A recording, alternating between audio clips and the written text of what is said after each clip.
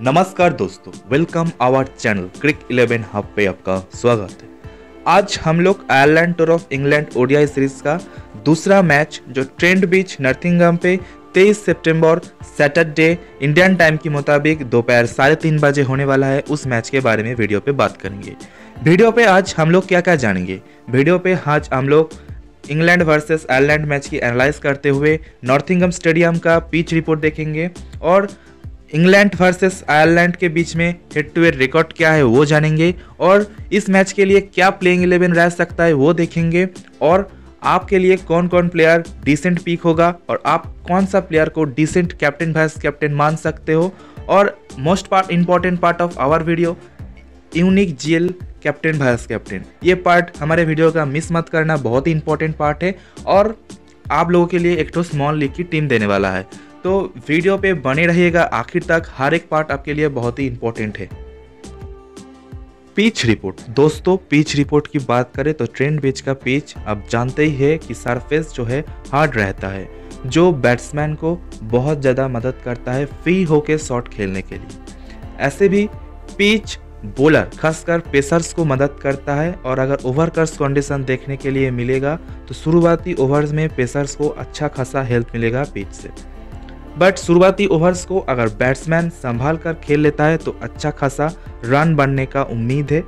England अगर पहले batting करेगा तो 300 के ऊपर स्कोर्स देखने के लिए मिलेगा हम लोगों को।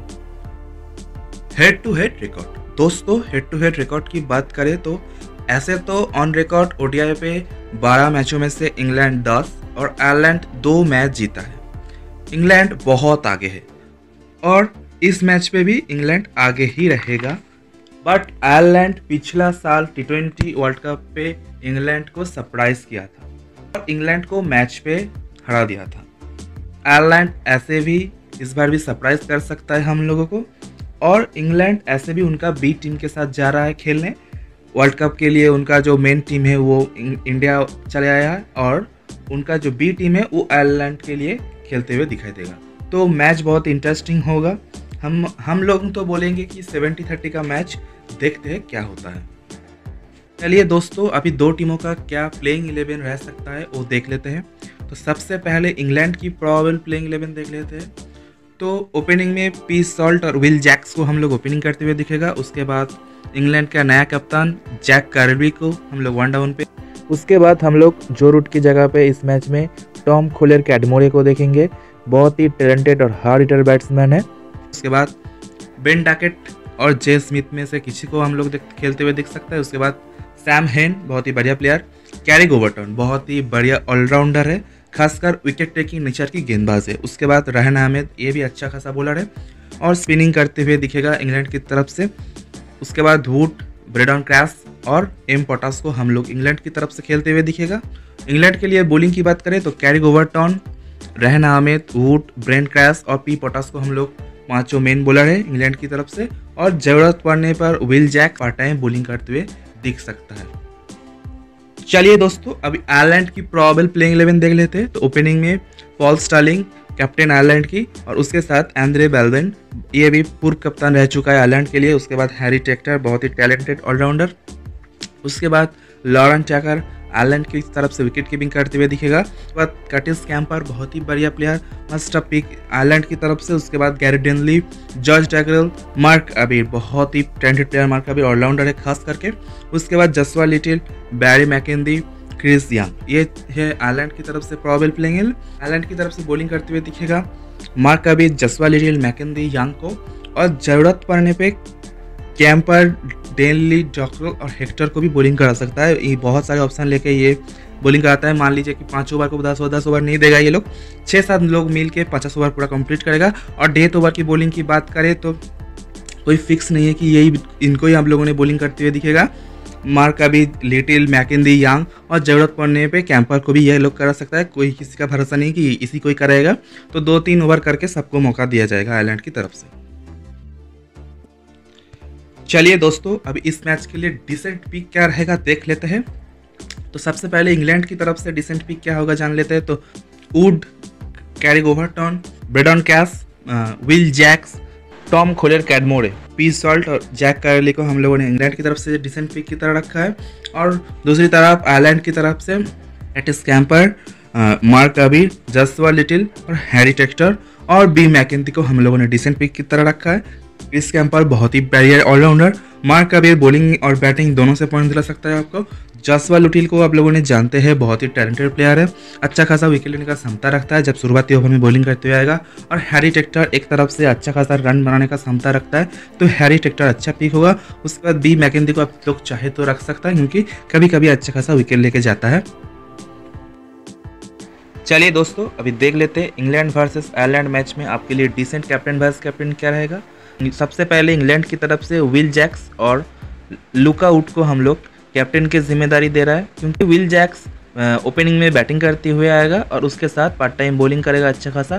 तो विकेट टेकिंग नेचर की गेंदबाज है तो अच्छा खासा विकेट लेने का क्षमता रखता है और हार्ड हिटर बैट्समैन है तो अच्छा खासा रन बनाने का उम्मीद कर रहा है इसके साथ।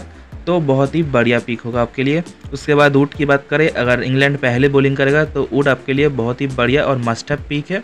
तो इनको आप लोग ज़रूर कैप्टन बनाइएगा जीएल में और स्मॉल लीग पे भी आपके लिए बहुत ही बढ़िया कैप्टनसी ऑप्शन है। उसके बाद वाइस कैप्टन की बात करें तो कैरी ओवरटर्न को हम लोग वाइस कैप्टन का ज़िम्मेदारी दिया है। अब चाहे तो पी सॉल्ट और जैक विक करेलिक को से भी किसी को भी बना सकता है वाइस कैप्टन बहुत ही बढ़िया ऑप्शन है आपके लिए। कैरी ओवरटर्न अच्छा खासा बॉलिंग करेगा और ज़रूरत पड़ने पर अच्छा खासा बैटिंग से स्कोर बना के दे सकता है आपको। और पी सॉल्ट और जैक कैरली शुरुआती टॉप ऑर्डर में बैटिंग करते हुएगा पी सॉल्ट विकेट कीपिंग से भी पॉइंट दिलाएगा आपको। तो आपके लिए एक अच्छा वाइस कैप्टन ऑप्शन उसके बाद आयरलैंड की तरफ़ से कैप्टन वाइस कैप्टन की बात करें तो कैंपर को हम लोग कैप्टन का ज़िम्मेदारी दिया है। बहुत ही बढ़िया ऑलराउंडर है। बैटिंग और बॉलिंग दोनों करेगा। अगर आयरलैंड पहले बॉलिंग करेगा, तब कैंपर आपके लिए एक बहुत ही बढ़िया पिक है कैप्टनशिप में। तो ज़रूर कैप्टन बनाइएगा। जीएल में अच्छा पिक है आपके लिए स्मॉल लीग में भी अच्छा पिक है।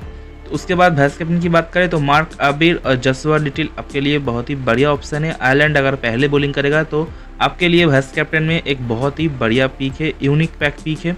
तो आप इनको ज़रूर वाइस कैप्टन का ज़िम्मेदारी दीजिएगा जब आयरलैंड पहले बॉलिंग करेगा। उसके बाद unique GL captain vice captain की बात करें तो इंग्लैंड की तरफ़ से Brydon Carse Tom Tom Kohler Cadmore Rehan Ahmed P potash को आप लोग। इंग्लैंड की तरफ़ से कैप्टन वाइस कैप्टन बना सकता है। बेडन कैश बहुत ही बढ़िया ऑप्शन है। खासकर इंग्लैंड जब पहले बॉलिंग करेगा, तब ब्रेडन कैश आपके लिए बहुत ही बढ़िया और यूनिक कैप्टन है होगा। क्योंकि अच्छा खासा विकेट लेने का क्षमता रखता है और बहुत सारे लोग ऊट को कैप्टन बनाने का सोचेगा। आप अगर बेरन कैश को बनाओगे तो वो अगर अच्छा खासा विकेट लेके चला जाएगा तो आपके लिए एक तो बहुत ही बढ़िया यूनिक पिक होगा। उसके बाद टॉम कोलर कैडमोर की बात करें तो बहुत ही बढ़िया और टैलेंटेड हार्ड हिटर बैट्समैन है और टू डाउन पे बैटिंग करते हुए आएगा।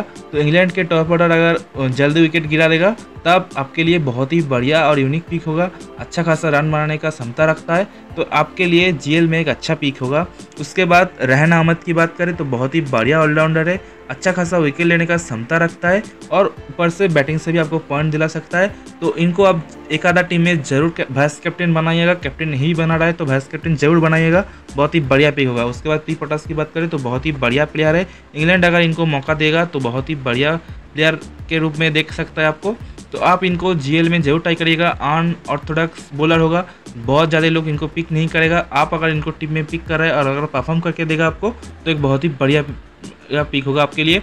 उसके बाद आयरलैंड की तरफ़ से यूनिक कैप्टन वाइस कैप्टन की बात करें जीएल में तो Harry Tector B McCarthy George Dockrell तो ये तीनों ही बहुत बढ़िया पिक है।